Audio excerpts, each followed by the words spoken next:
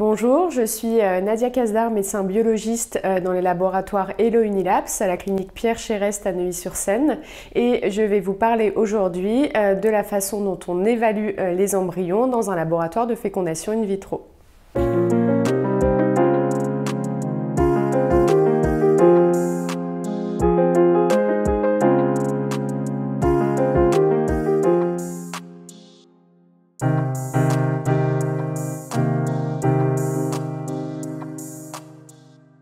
Alors avant de discuter euh, de la façon dont on évalue un embryon, il faut savoir qu'avant la conception de cet embryon, on réalise un tri au niveau euh, des ovocytes pour la plupart des techniques de mise en fécondation, c'est-à-dire qu'on va sélectionner les ovocytes matures parmi tous les ovocytes que va nous apporter euh, le gynécologue.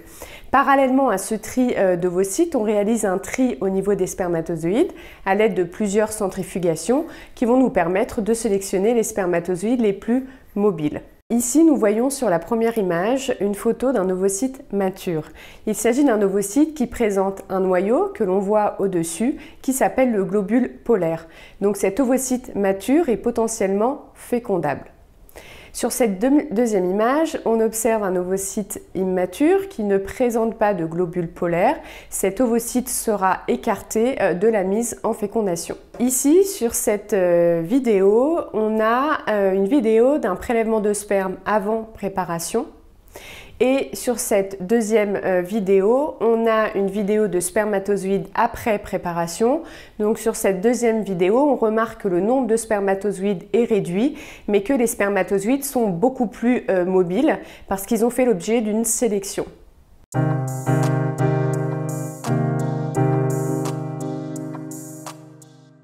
Une fois les ovocytes euh, triés et les spermatozoïdes triés, on procède à leur mise en contact ou la mise en fécondation. Cette mise en fécondation, elle peut se faire de plusieurs manières. Soit une mise en fécondation par une fécondation in vitro classique qui consiste à répartir les ovocytes dans des petits puits et à mettre autour de chaque ovocyte un certain nombre de spermatozoïdes et laisser plusieurs heures que la fécondation se fasse toute seule. Alors voici une vidéo d'un nouveau site qui est mis en fécondation avec plusieurs spermatozoïdes, qui est la fécondation in vitro classique, qu'on va euh, laisser plusieurs heures pour que euh, un spermatozoïde rencontre l'ovocyte et que la fécondation se fasse correctement.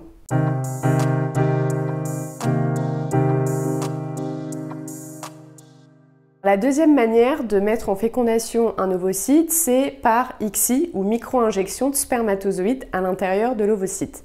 Cette technique est principalement utilisée lorsqu'on n'arrive pas à sélectionner un nombre suffisant de spermatozoïdes qu'on peut mettre autour de chaque ovocyte pour réaliser la fécondation in vitro. ici, voici une photo d'une micro-injection avec une pipette de contention qui permet de maintenir l'ovocyte et une pipette euh, d'injection qui va intégrer un, un spermatozoïde à l'intérieur du cytoplasme de l'ovocyte.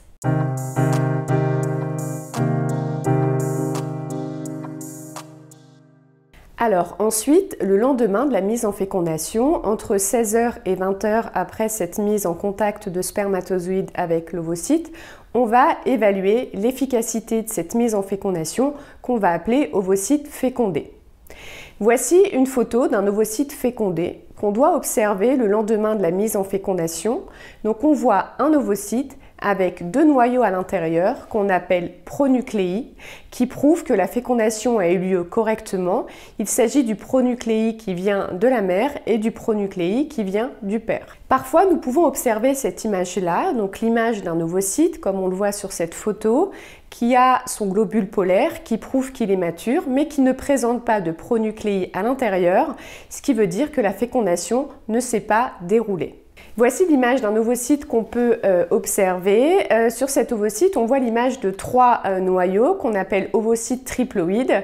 Ces ovocytes sont immédiatement écartés de la mise en culture parce qu'ils présentent des anomalies chromosomiques.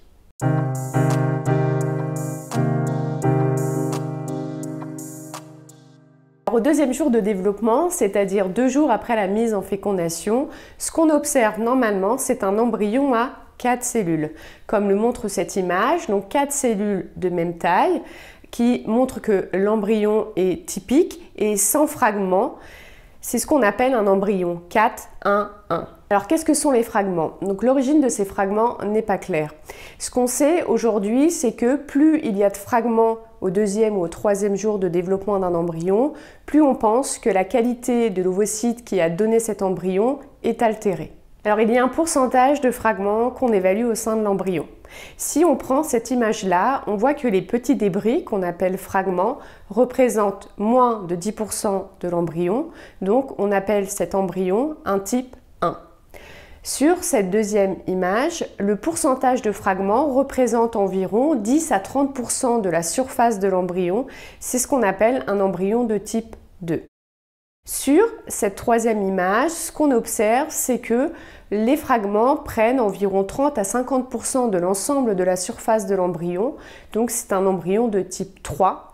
Et enfin, le dernier type, c'est le type 4, c'est lorsque le pourcentage de fragments représente plus de 50% de la surface de l'embryon. Au troisième jour de développement, c'est-à-dire trois jours après la mise en fécondation, on doit observer un embryon à 8 cellules de même taille et sans fragments, comme le montre cette image euh, présentée ici. Parfois, les cellules euh, sont de taille différente, donc on appelle cet embryon un embryon atypique, donc c'est un 8 cellules de 1. Au quatrième jour de développement, c'est-à-dire 4 jours après la mise en fécondation, on doit observer un embryon qui ressemble un peu à un amas de cellules où il y a de très très nombreuses cellules qu'on a du mal à délimiter. En général, à ce stade-là, on n'observe pas l'embryon, on ne le sort pas des étuves. Voici l'image euh, d'un embryon au quatrième jour de développement qui doit euh, ressembler à cette image-là. Il s'agit d'une morula compactée.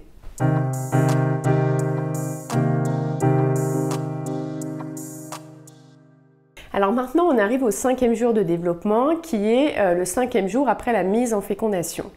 Ce qu'on doit observer sur un embryon qui arrive au cinquième jour de développement, c'est une cavité liquidienne qu'on appelle un blastocèle. Selon euh, la surface de ce blastocèle, on différencie plusieurs grades de blastocystes. Si cette cavité liquidienne occupe moins de 50% de euh, l'ensemble de l'embryon, c'est ce qu'on appelle un blastocyste B1. Si ce blastocèle occupe plus de 50% de l'embryon, c'est un B2.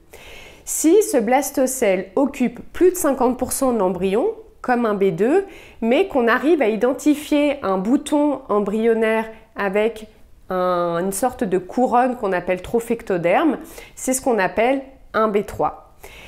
Le B4, c'est lorsque la cavité blastocélique occupe plus de 50% de l'embryon et que l'embryon est plus gros et que sa zone pellucide s'est amincie.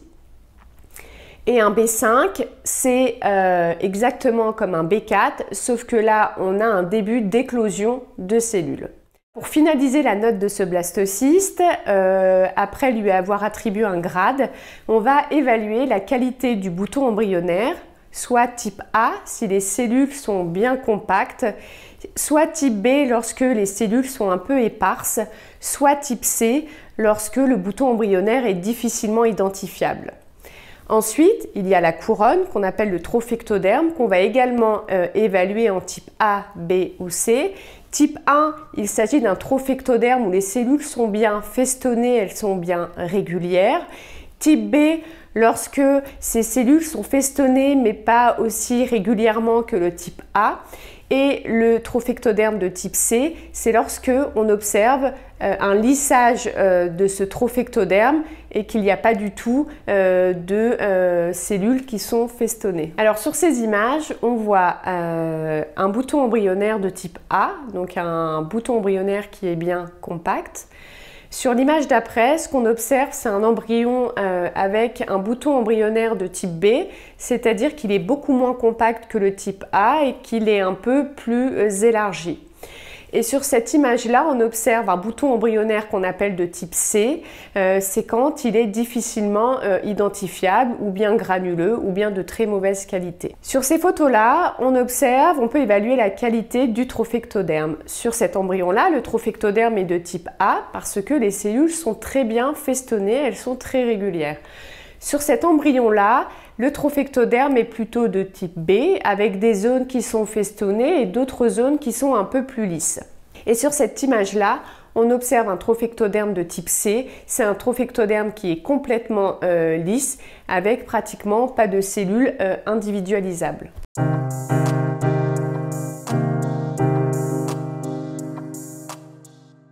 Alors cette classification qu'on appelle la classification de Garner est une classification qui est très utile pour nous biologistes pour évaluer la qualité de vos embryons. Donc c'est la classification qui est la plus utilisée en France dans les centres de fécondation in vitro. Ce qu'il faut savoir, c'est qu'on n'évalue pas un embryon à un instant T. Ce qu'on observe pour une meilleure sélection d'embryons, c'est toute sa cinétique de développement du premier jour au cinquième jour de développement qui nous permet euh, d'identifier, de sélectionner l'embryon euh, le plus euh, compétent pour aboutir à une grossesse. Thank you